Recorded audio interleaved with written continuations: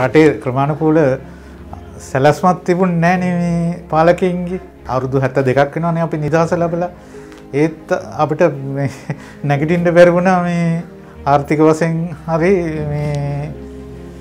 අපේ කිසිම සැලස්මක් කාගවත් කිසිම සැලස්මක් තිබුන්න ඒකෙන් තමා ප්‍රශ්න වෙලා තියන්නේ. සිංගපුරුව ඒ වගේ රටවල් ගොඩක් අපේ බහකරගෙන ගිහිල්ලා. මගේ සිහිනය කාටත් අතනුපා ජීවත්තෙන් පුළුවන්. කැන් තමුන්ට සරලන